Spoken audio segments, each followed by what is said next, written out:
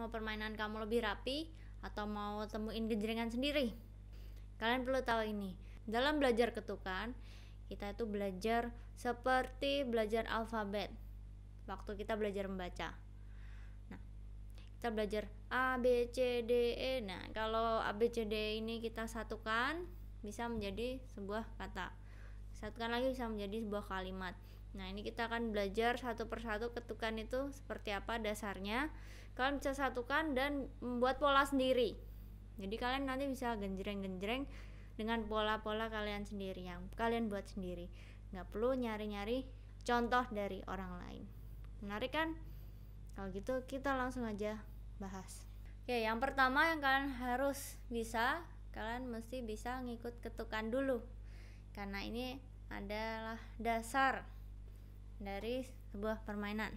Oke, kalian bisa play metronom. Oke, ikuti aku genjreng gini.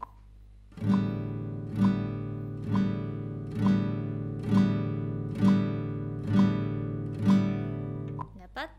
Bisa mengikuti? Ini adalah satu ketuk. Nah, sekarang kita akan belajar bagaimana bentuknya. Di sini ada gambar ketukan Nah, ini adalah ketukan satu ketuk. Ini adalah satu ketuk. Nah, jreng, jreng, jreng, jreng seperti yang kita mainkan tadi. Kalau ini adalah ketukan berhenti, ketukan stop. Kita coba ya. Bisa pakai metronom. Nah, kita main jreng,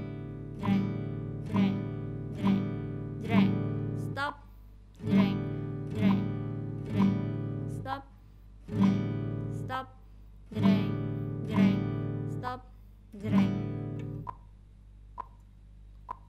bisa mengikuti? Ini kita latihan mainkan ketukan satu ketuk. Kita lanjut yang bawah. Kalian bisa coba. Oke yang B ya. Serang. Stop. Stop. Serang.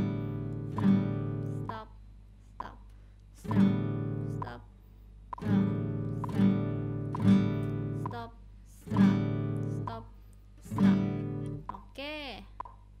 Gimana? Sudah mulai bisa merasakan satu ketuk? Satu ketuk ini penting banget nih. Kalian bisa dengarkan lagu dan rasakan iramanya. Kita coba ya di lagu ya.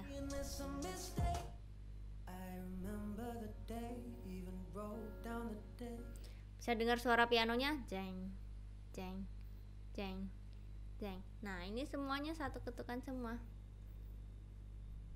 I remember na na na na na na na na na na Here's your perfect. Coba dengar lagi ya. Now it's crossed out away, but I still can't forget if I wanted to. And it drives me insane, think I'm hearing your name. Ya, simpel kan? Cuman satu ketuk bisa rapi mainnya juga tetap enak nggak terlalu berlebihan. Jadi pentingnya belajar ketukan itu seperti itu. Itu untuk satu ketuk. Terus kita mau belajar lagi ketukan itu ada banyak. Paling besar ada empat ketuk. Di ketukan 4 per 4 ya 4 ketuk dua ketuk satu ketuk yang berdasarkan kita belajar. Ada setengah ketuk seperempat ketuk dan seterusnya. Semua terbagi. Kita langsung aja untuk prakteknya. Kalau empat ketuk 4 ketuk jadi kalian perlunya genjreng satu kali tahan selama 4 hitungan. 1 2 3 4 genjreng lagi. 1 2 3 4 nah ini bisa kalian praktekkan di lagu I love you so.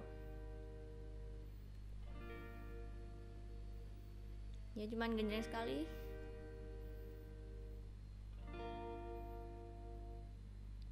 kan genjrengnya jreng hold hold hold jreng hold hold hold. One two three four gitu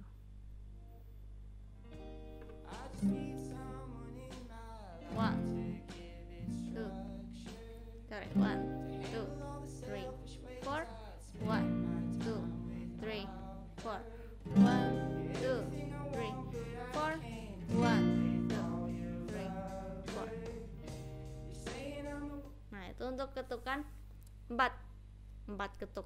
Terus gimana dong prakteknya? Nah, biasa pola ini digunakan selama satu bagian. Bagian first punya satu pola, bagian chorus punya satu pola, kalian bisa ganti.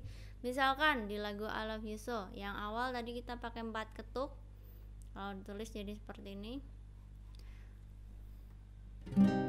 Na na na na na na na.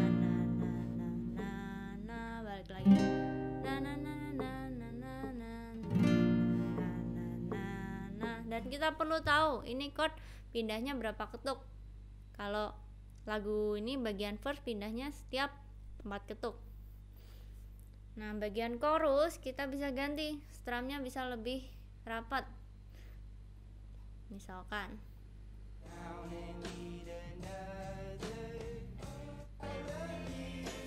Jeng kita jadiin seketuk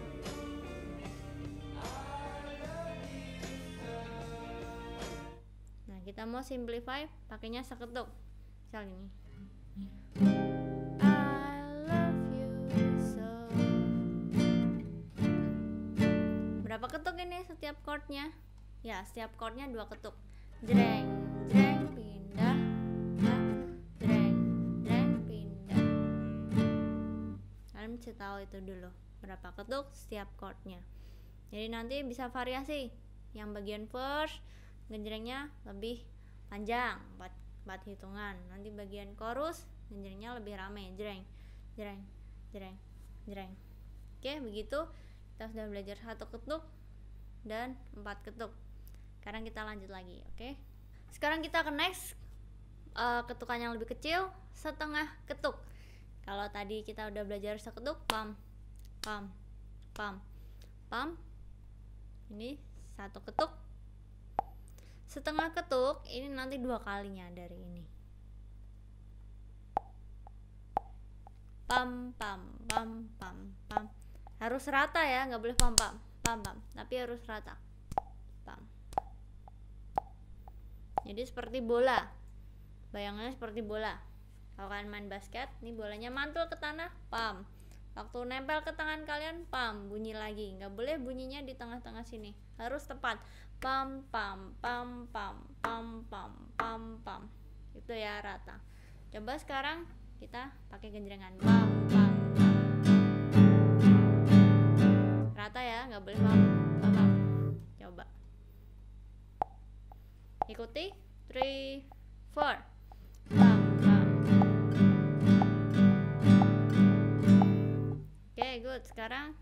Kasih satu ketuk aja tapi harus main setengah. Setengah ketuk. Beatnya satu ketuk main setengah ketuk.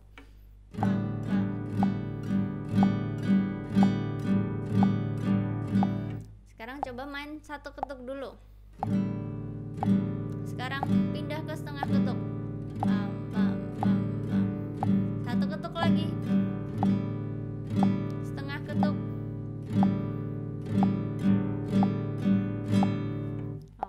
oke sudah bisa rata? Harus rata ini penting banget. Sekarang kita mau lihat gimana sih bentuknya. Not setengah ketuk. Not setengah ketuk itu bentuknya seperti ini. Jadi ada yang menghubungkan antar not. Oke, ada dua garis yang menghubungkan antar not di atas ini. Ini namanya not setengah ketuk. Jadi nanti bunyinya dua kalinya ya ketukan besarnya ada di sini. Tok tok tok tok harus bareng. Ini bunyinya harus bareng sama metronom. Kita coba main bareng metronom. Kalian bisa play metronom. Lewat Google bisa lewat HP bisa atau lewat apa pun. Kita coba ya. One two three four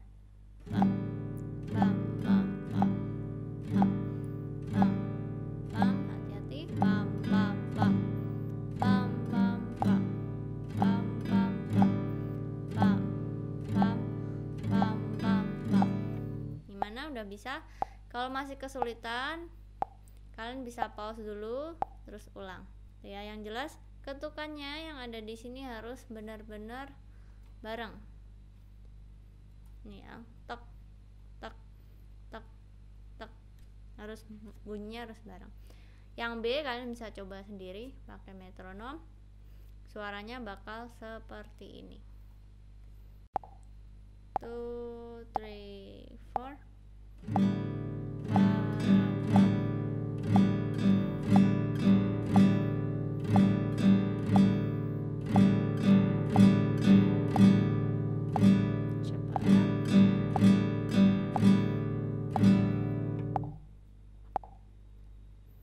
jadi begitu suaranya untuk yang B.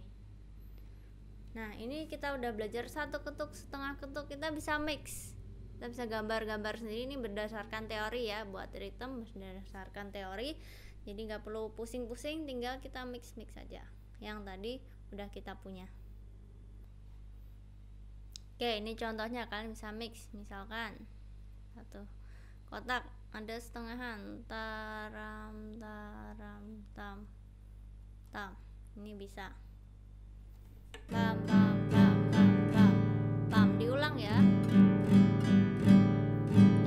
kalau buat pola ritme diulang jangan ganti-ganti terus. Jadi biar stabil. Gantinya nanti kalau udah beda part misal dari verse ke chorus itu dasarnya. Jangan ganti-ganti dulu. Misal kita coba di lagu I love you so tadi bagian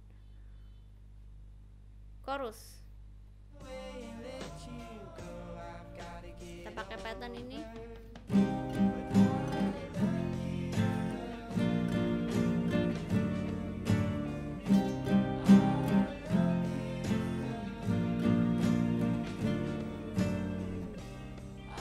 bisa masuk. Tapi kalian harus tahu chordnya ini berapa kali. Jadi yang chorus pindah chordnya dua ketuk kita bagi dua sini. Ini chord pertama ini chord kedua.